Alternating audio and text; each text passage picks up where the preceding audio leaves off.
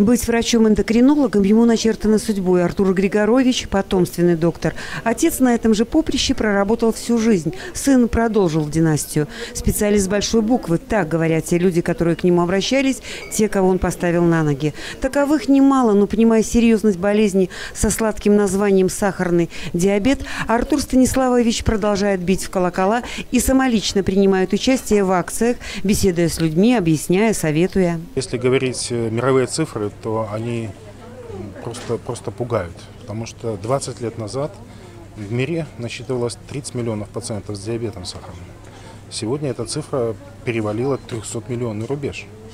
В 2025 году Всемирная организация здравоохранения прогноз э, дает тоже неутешительный. Более полумиллиарда пациентов будут страдать сахарным диабетом. Полмиллиарда – цифра поистине устрашающая. Брещина, к сожалению, не остается в стороне от этого в кавычках прогресса. Сегодня в области насчитывается порядка 40 тысяч человек, страдающих от сахарного диабета второго типа. Заметьте, 80% из них имеют избыточный вес – ожирение. Ожирение, оно наследуется. И родители, которые не следят за своим весом, они в будущем могут иметь потомство с избыточной массой тела. Это доказанный факт. И вот эти вот риски, связанные с сахарным диабетом, по наследованию, они прямые. Сахарный диабет второго типа наследуется.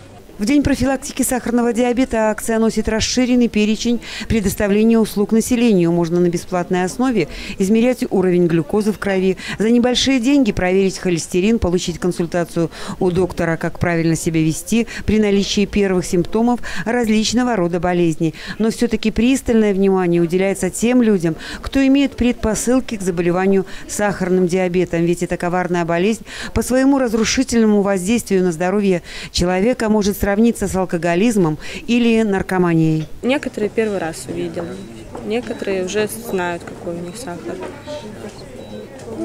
Разные случаи бывают. Тут у многих высокий сахар. Удобно ли вот в такие акции? Очень удобно. Я тем более болею на сахарный диабет. И вот дополнительно, если проверить, то неплохо. То опасная болезнь, надо контролировать, бо осложнение дает на, на все. Может протекать вначале незаметно даже. Вы уже такой э, спец по сахарному диабету, да? Ну как, я стремлюсь его искоренить из себя. Конечно, не все зависит от человека. Есть и генетическая предрасположенность к заболеванию сахарным диабетом, но в большинстве своем все зависит от человека, от его желания жить здорово и здорово. Эксперты Всемирной организации здравоохранения уверены, что если человек достаточно двигается, если человек правильно питается, если он контролирует свой вес и не очень поправляется, если он не курит, и алкоголь употребляет умеренно или не употребляет совсем, у него, скорее всего, сахарного диабета второго типа не будет будет. Да, и поэтому хочется всех призвать вести здоровый образ жизни для того, чтобы избежать вот этого очень коварного и нехорошего заболевания, которое, которое дает очень много осложнений, высокий уровень смертности и инвалидности. Я бы хотел бы посоветовать э, повысить свою активность.